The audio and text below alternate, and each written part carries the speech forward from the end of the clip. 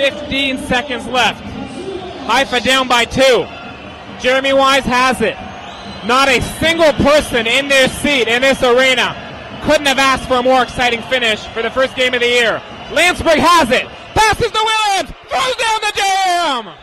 And we are all tied up with four seconds to go.